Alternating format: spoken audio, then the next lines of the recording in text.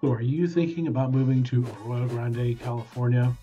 In this video, I'm going to go over some of the pros and cons about living in Arroyo Grande, California. My name is Bruce Carson with Keller Williams Realty Central Coast. I've been here for over 20 years, and I had the opportunity to raise three amazing boys uh, here in the Arroyo Grande area. So I've become very familiar, and I'm more than happy to share this information with you. So if you stick around until the end of this video too, I have a really good secret about Arroyo Grande to tell you about. So we're gonna get after it right now.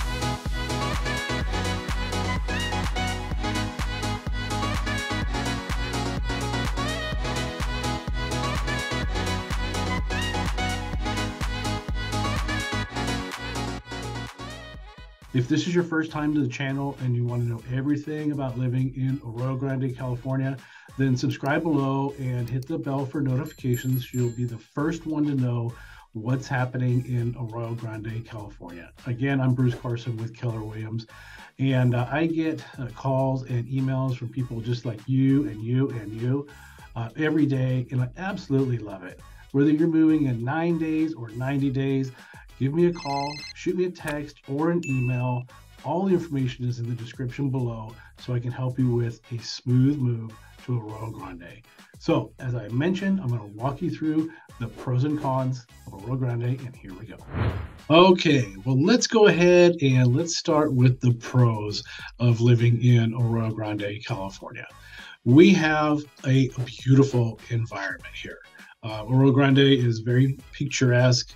We have great landscapes. We have rolling hills. We have beaches. We have vineyards, and um, everything that nature enthusiasts could really want is right here in Arroyo Grande or close by. So it is a very beautiful place uh, to live. So another pro about Arroyo Grande, even though it is a pretty big town, as I've uh, explained uh, before, it has like a real small town, hometown feel, especially when you go down to the village of Arroyo Grande.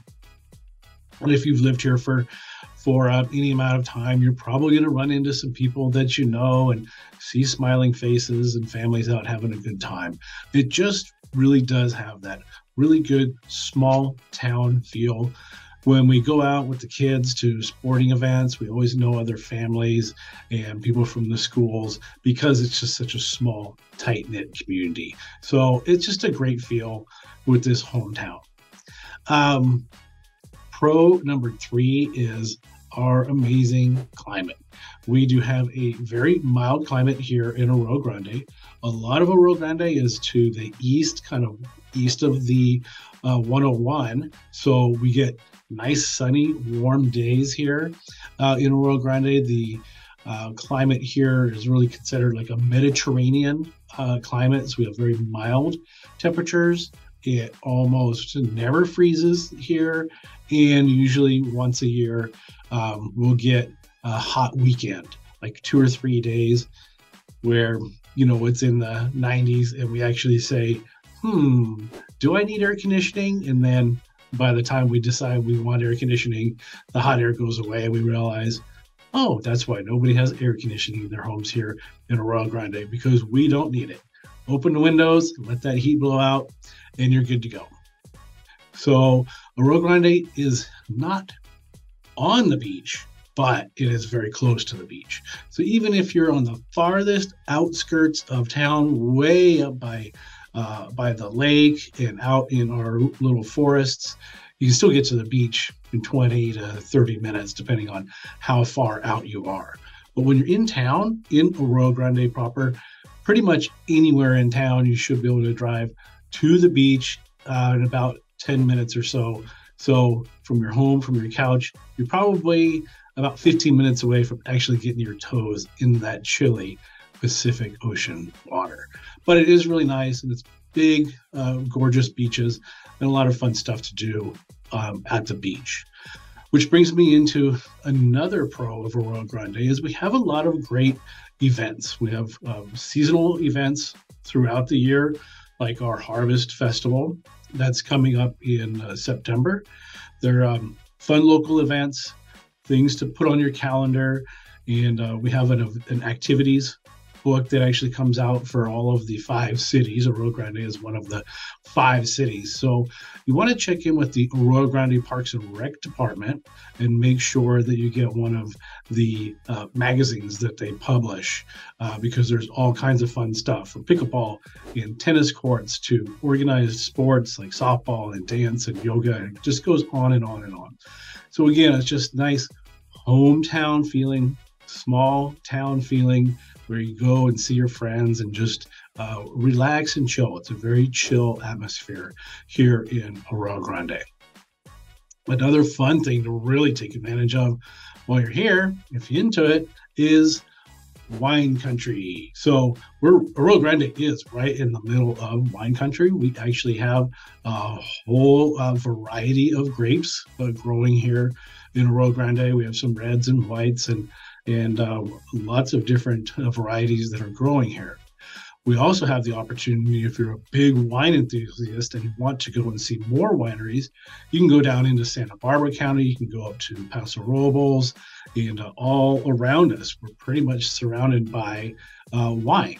Now, you don't have to be a heavy drinker, you don't have to go out and get drunk to go wine tasting and go and enjoy our local wineries.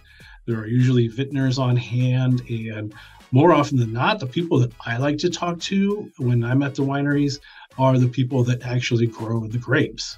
And they can talk about um, all of the interesting soils and, and water and, and why they're growing certain grapes where. So it is a lot of fun. We do produce some really yummy, tasty wines. And uh, I'm going to wrap it up with uh, just a couple more pros. It's kind of hard to stop because I love Arroyo Grande. But um, we have a very low crime rate.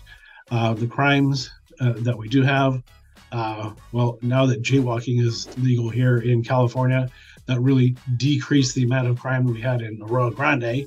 But um, you know, it, it's real nominal. Uh, we don't hear about you know murders and, and, and bad guys and and uh, attacks and and you know aggressive, uh, bad things happening here in Arroyo Grande.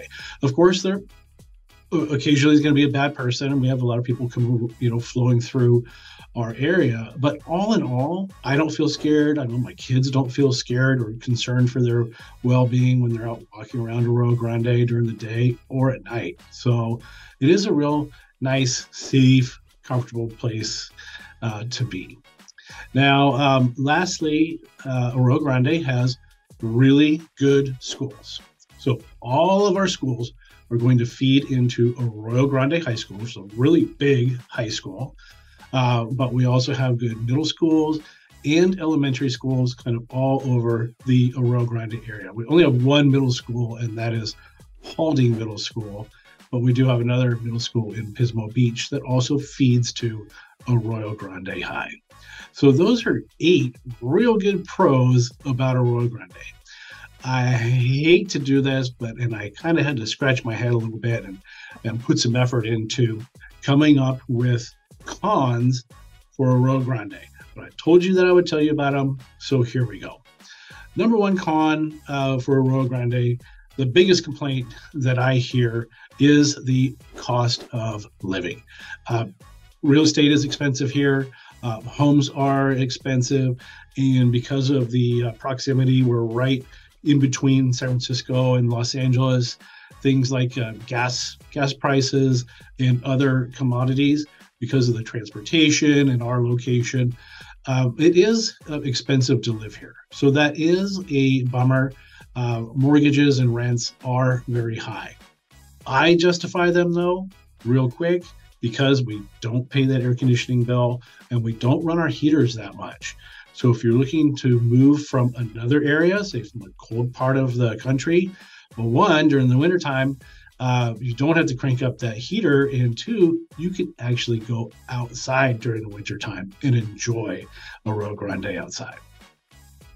So another con about Arroyo Grande is limited job opportunities. Um, we we have a lot of retail, we have a lot of restaurants and such, but as far as uh, large companies that pay the salaries that justify the mortgages and the rent here in Arroyo Grande, we could really use uh, more of those jobs. It would be uh, great, but unfortunately, over the whole entire time that I've been here, it has been a, a downfall and challenging to find a good paying job that's going to cover all the expenses for a family here in Arroyo Grande. Um, occasionally, we do get some traffic congestion. Uh, a couple times during the year, during holidays when it's really popular, especially 4th of July, we do get uh, some traffic congestion. The highway slows down a little bit. And then um, we also get hit with traffic sometimes when I 5, like during the winter time, sometimes the grapevine gets uh, snowed in and they close it. So if I 5, which is the main north and south uh, highway going up and down California, if that ever shuts down, everyone is sent over to Highway 101 and they're going to come right through Pismo Beach. So sometimes uh, we get some traffic congestion, but if you're local, you can always take side streets and back streets and go around that traffic. So even though it's a con, it's not that bad and it never really lasts very long. We do get crowds of tourists though with that traffic, uh, especially during the summertime. So uh, because of our Mediterranean, very cool, mild climate, we have a lot of people that come over from the hotter areas, hotter regions of California, especially out east so in the valley, Bakersfield, Fresno, even up north of us, Paso Robles and Atascadero, all of these uh, areas during the summertime, they get hot. I mean, it's 100 plus degrees while we're sitting here in Arroyo Grande in the upper 60s and low 70s. So you can see why people would flood in on the weekends uh, just to cool down and have the opportunity to get outside and turn that air conditioning off. So that's a con uh, as well. Another con that I've heard, especially from uh, my kids when I was bringing them up, is that uh, there is limited entertainment. So we have local entertainment, we have little bands playing and, and events uh, throughout the Central Coast and in our little towns. But as far as like the big entertainment, big concert venues and everything, we do need to drive either to the Bay Area or to Los Angeles, Santa Barbara areas to uh, gain access to some of the larger, bigger entertainment events and venues that people are used to from the big cities. Me personally, I feel a little bit spoiled because of our proximity with these cities, because we have, um, you know, the drive is usually about three hours to either of the cities, San Francisco or LA. But if you look at the Bay Area and LA, look at all the professional sporting teams that we have access to. So uh, there's a lot, and we get to choose who we go and see.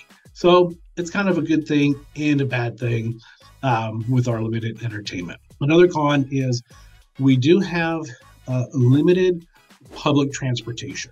So it's a very common problem in California. We just weren't set up with infrastructure, so we have no subway system. We do have uh, some buses uh, that run and a trolley that takes us down to Avila Beach, uh, but we really could use more uh, public transportation because if you don't have a car, um, it is challenging to get to all of the places that you want to go in Arroyo Grande because it is big and it is spread out and even when we get out uh, to the outskirts of Arroyo Grande, it blends into the San Luis Obispo County and just keeps going on and on. So you can be far away from the center, and uh, public transportation would be nice. But it is getting better over the decades that I've lived here. I have seen a great improvement with the public transportation. So let's just hope that they continue to do that because our area is growing. They are adding in uh, more uh, housing opportunities, and so we're going to have more people moving to our area. So uh, I hope that the planning is in place to continue to build up the public transportation here in the Arroyo Grande area. Similar, you know, growing up here in California, uh, we've always dealt with droughts, except for this year. we finally got our lakes filled. All of our local lakes are filled, but um, it is just an ongoing problem that we have water restrictions and we have drought situations and drought threats here. Uh, up until last year, we even had big, you know, flashing street signs: "Save water, conserve water, let your lawns, you know, die." Um, save, save, save. Uh, now that all of our reservoirs and lakes are full, our aquifers uh, filled up quite a bit from last year's rains, which is really nice. But we're all staying in conservation mode with that water because the drought's not going anywhere, and we'll be back into another threatening situation sometime in the future. Hopefully, not too uh, not too soon. Um, and then lastly, for cons is uh, it is again just a little bit isolated here uh, from urban amenities. Um, so if we don't have all of the the chain restaurants and again all the big venues and big fun activities uh, to go see, we're a little bit smaller. We have the mom and pop one-off restaurants. Um, you know, occasionally we'll see a chain here, but um, you know, that's just a part of living in a small town. So there you go. That's Arroyo Grande, California, uh, the pros and the cons. Now, I did tell you if you stick around to the end that I have a great uh, secret to share with you about Arroyo Grande, and that is our lake. Lake Lopez. Yes, we have a lake, and like I just mentioned, it is actually full and it looks great. The lake hasn't been full for 25 full years. And uh, this summer, we have a full lake. It's not a giant lake, but it's Arroyo Grande. So we have nice, mild weather up at the lake. The water stays cool and refreshing. You can go up there. A lot of people like to windsurf um, and fish. Now you can bring your boats up there, sailboats, uh, and it's just right here in town. So uh, from the village of Arroyo Grande to putting your boat into Lake Lopez, if you were uh, to do that, it'd probably be about 30 to 35 minutes um, from the village to you floating around on your boat. So Lake Lopez is a great place to go. We have camping up there. There are water slides at Lake Lopez, and there's even uh, some new zip lines that you can do. So you can go up for day hikes, you can camp for weeks if you want. There's all kinds of great stuff to do up at Lake Lopez. Even if you just take the kids up to swim for the day in the in the lake, uh, you're probably going to see some great wildlife out there. We have a lot of wild turkeys, deer. Uh, I've seen bears up there. Uh, so there's, uh, you know, it's gives a nice rural feeling, and you can get out there uh, and enjoy uh, the outdoor wilderness without a big drive. And it's not a big commitment to go up there. And also, we just got a big upgrade just a few years ago. Now we have cell service at the lake. So if you're going up there, to camp. Uh, you can stay there. Your cell phones are going to work at the campgrounds. Whereas before, up until just a couple of years ago, we would have to drive um, down to the base of the dam for our cell phones to uh, to work properly. So that is uh, that's it. Wrapping up pros and cons. You heard about uh, my big secret for Arroyo Grande. If there's ever anything that I can do to help you with a smooth, easy transition to Arroyo Grande, again, call, text, email anytime. Bruce Carson Realtor. Thanks.